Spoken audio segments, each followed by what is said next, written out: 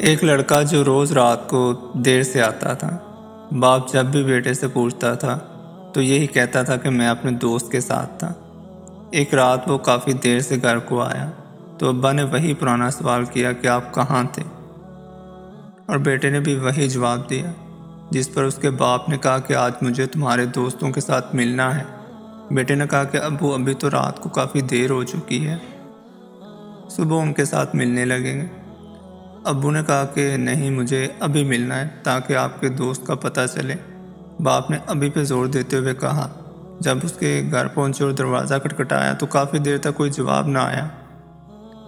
Bill आखिर balcony से sir निकाल के एक बुज़ुर्ग ने जवाब, उसके दोस्त का बाप था। आने की वजह दरियाफ्त की तो लड़के ने कहा कि अपने दोस्त से मिलने आया हूँ।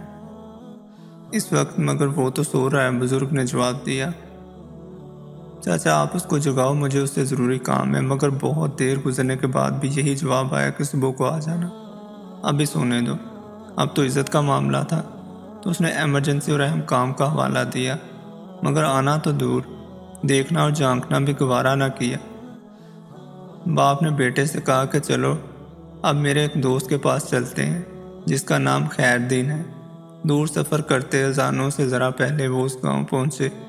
और खैर दिन के घर का दरवाज़ा खटखटाया मगर जवाब ना आया। बिल आखिर उसने ज़ोर से अपना नाम बताया कि मैं इकबाल। मगर फिर भी दरवाज़ा साकत और कोई हरकत नहीं। अब तो बेटे के चेहरे पे भी मुस्कुराहट आ गई, लेकिन उसी लम्हे लाठी की ठक ठक सुनाई दी और दरवाजे की जंजीर और कुंडी खुलने की आवाज़ आई।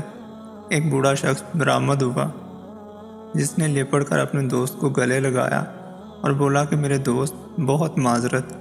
मुझे देर इसलिए हुई कि जब तुमने सत्ताईस साल बाद मेरा दरवाज़ा रात के खटखटाया तो मुझे लगा कि किसी मुसीबत में हो।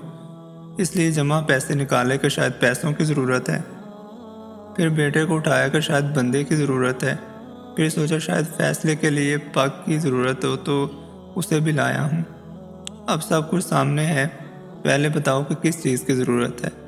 ये सुनकर बेटे की आँखों से आँसू आ गए और बहुत शर्मिंदा हुआ। अबू ने कितनी बार समझाया कि बेटा, दोस्त वो नहीं होते कि जिसके साथ आप रात देर तक जागेंगे, बल्कि दोस्त वो होते हैं जो मुसीबत में आपके साथ लब्बैक कहें।